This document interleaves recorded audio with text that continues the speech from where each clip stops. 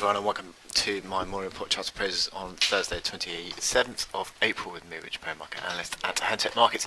We've got a bit of a corrective outlook actually forming on these equity markets. Um, that's come on the back of this tax plan that was announced by the Trump administration yesterday. Um, and that tax plan seemed to just be a little bit disappointing, really. I mean, it didn't really give a great deal of information. Um, I think probably specifically the um, lack of detail uh, with regard to the um, repatriation of overseas assets. Um, or sorry, overseas earnings, without a, um, a, suggestion of what that tax rate would be. Also, 15% corporation tax. Will the Republicans let that go through? Um, in the fact, with with regard to the debt ceiling, because um, it doesn't seem as though this tax plan is revenue neutral or budget neutral, um, which would subsequently raise the debt ceiling. So you'd see this sort of fiscal conservatives in the states kicking up a bit of a stink with that in mind. Um, so there's question marks, and the question marks have led to a bit of a, a sort of a, an intraday decline on the S&P 500. Subsequently, we're seeing European equity markets coming lower. We're also seeing the dollar coming back under a little bit of pressure, not too much on that dollar index, but you can see these treasury yields, which are just sort of towards the low of the day today on the 10 year and the two year falling away. So it just suggests that there's a little bit of um, a sort of a corrective outlook on equities, corrective outlook on the dollar, and um, that's pretty much what we're seeing today. Um, we've got the ECB today. Um, and there's no change expected on rates. However, um, sort of speculation that perhaps something could be mentioned with regard to tapering, because you've seen a, an increase or an improvement in um, the economic data through the eurozone in the um, last sort of few weeks, really, a couple of months um, since March, and um, that might lead to some on the eurozone um, governing council, sorry, on the ECB governing council, to sort of try and sort of look towards tapering. I think it's a little bit early because we've still got the uncertainty of the French election, um, but today is possible um, that uh, there could be some sort of mention of it, but still, I don't think it's all that likely um, yet.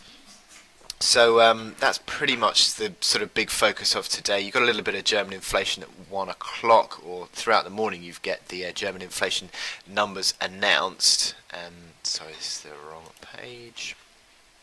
Throughout the morning, you get the German inflation numbers announced. We've also had overnight the uh, Bank of Japan, which is impacted on the uh, on the yen today. The Bank of Japan held rates as was um, before uh, at uh, 0.1 percent negative.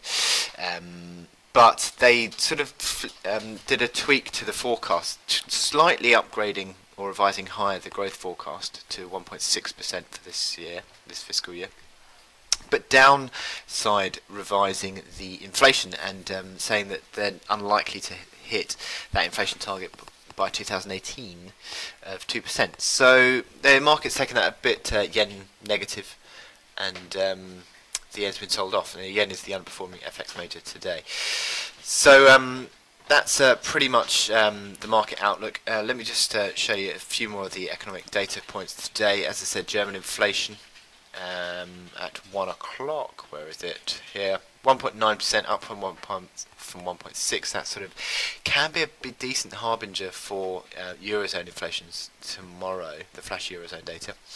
Uh, X transport durable goods is expected to grow by 0.4% on the month again and then into the afternoon we get the uh, jobless claims 245 basically bang in line uh, with last week and also their pending home sales 1% negative. Now this is also interesting the Kansas City uh, Fed composite 20 was the last reading and as I said uh, earlier this week these um, Fed num Fed um, surveys are just beginning to tail off and the Kansas City Fed again, if that sort of starts to fall away, would be interesting because that again would be reflective of sort of a small deterioration in US data.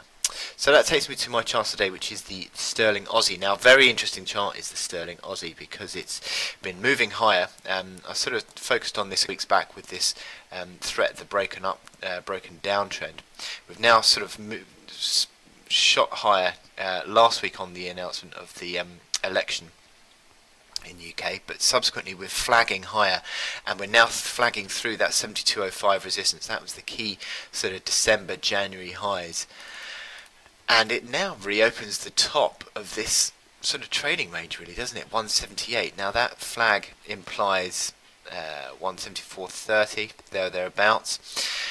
And I think it's um, it's well on the way to doing so. I mean, you look at this momentum is very strong on this uh, sterling Aussie. It suggests that uh, little corrections are a chance to buy. You look on the hourly chart if it comes through. Look on the hourly chart. You can see the breakout again this morning above 72.20. Um, so you get a closing break about 172.05 and I think that's up and up and away.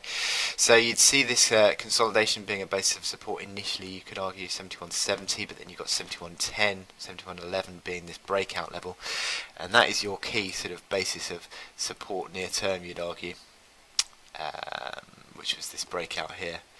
So uh, yeah, some strong some strong gains being seen on the uh, sterling Aussie, and it looks like we're sort of continuing to push higher. So a decent one to look at there. So I wish you good luck in your trading today, and I'll speak.